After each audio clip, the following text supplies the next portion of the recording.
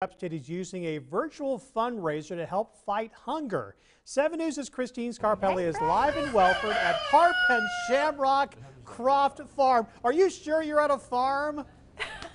I promise we're at a farm. I can prove it, really. We just actually visited with the baby goats. This is such a neat place. Harp and Shamrock Croft we are in the Greer area, a local farm. They do so much. You may see them at the Spartanburg or Greer farmers markets. You got to hit them up on a Saturday. And they are working with Ruth's Gleanings and a food share program with Tanya. We've got Paul here with the farm, Tanya with that program. Tanya, we've been with you before. We have talked about what you do for those families that are hungry and in need of some food in Spartanburg County. Tell me about the partnership with this farm and other farms that really make it all worthwhile. Okay, sure. So um, our food share program, we put uh, we purchased food in the box, which is just 9 to 12 varieties of fresh fruits and vegetables. Wow. And we try to uh, hit the target of about 50% being local and regional.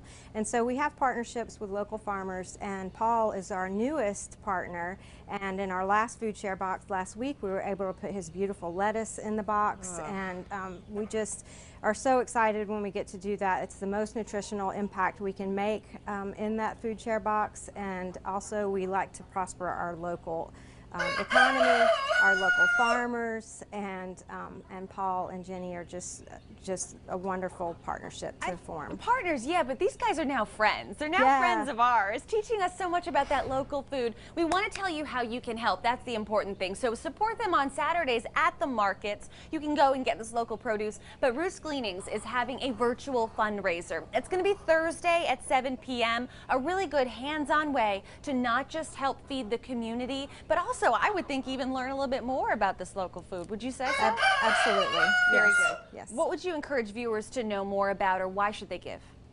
Um, well, it helps to support feeding people who are in need, and, and in particular, um, people in nutritional poverty who um, need just a hand up, not necessarily a handout, but this box makes them able to um, put fresh, healthy food on their tables. Um, but it does not cover our cost by any means, um, the box uh, price.